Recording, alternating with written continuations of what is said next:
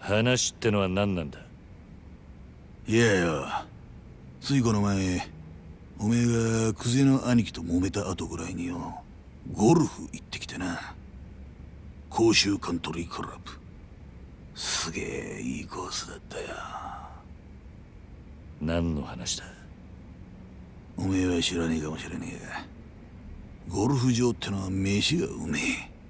コース回った後のカレーとサウナあれ覚えちまったら世の中の他の遊びがバカらしくなるぐらいだ。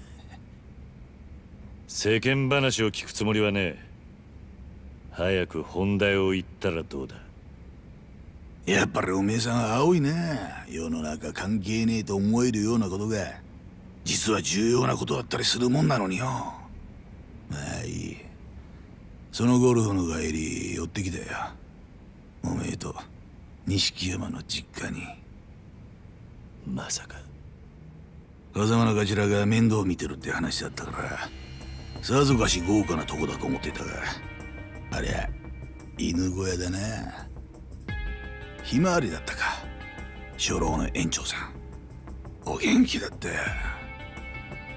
お前ひまわりに何したんだ？まあ落ち着けって。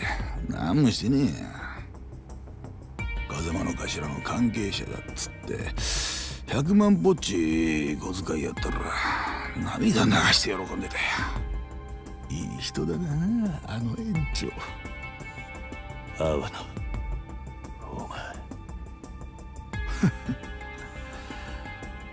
おめえも自分のせいで何の罪もねえあの園長さんを悲しませるような真似したくねえだろとまあそういうことだ。今おめえが生き延びたところで逃げ場所はどこにもねえんだよ。おめえの友人関係から住んでるアパート行きつけのラーメン屋から育った場所まで全部調べはついてる。まあ悪く思うな。昔から堂島組には役割があってな。組の鋭角のは風間組。喧嘩番長久世剣能会。面倒な事務方は渋沢組。そして俺は。生涯。つまり脅し担当なんだよ。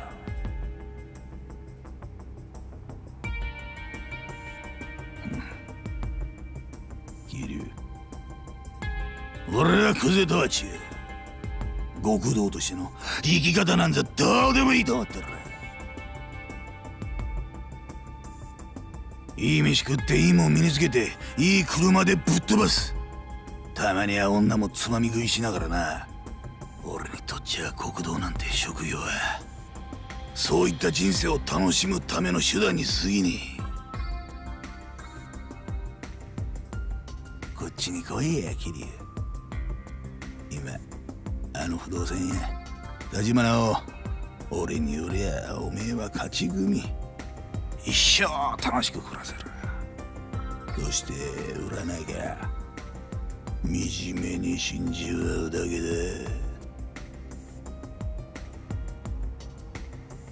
あの犬小屋から錦山と一緒に必死に吐いてたばっかりなんだろ。うん？人生無駄にする必要はねえ。なあ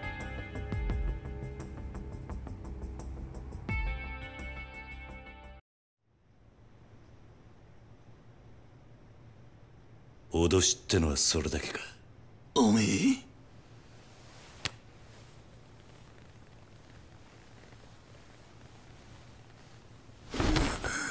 てめえ？話にならねえよ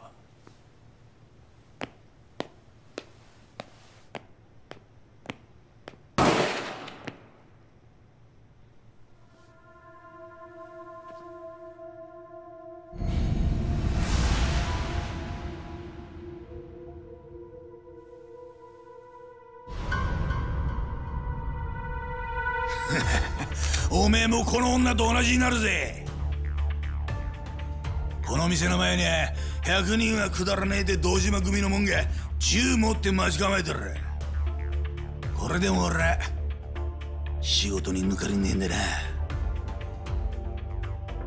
さあどうするキリ表に出て蜂の巣になるか。それとも俺と楽しい夢一緒に追いかけるか。答えはおめえに決めさせてやる。さあどうする？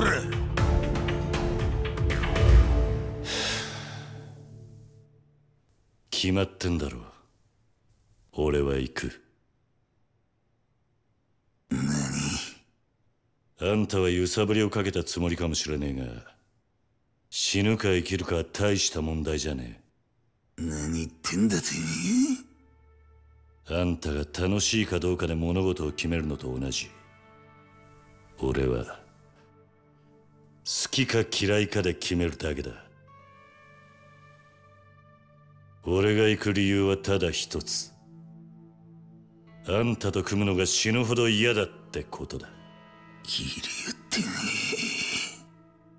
てねなら撃たれる方がまだマシだ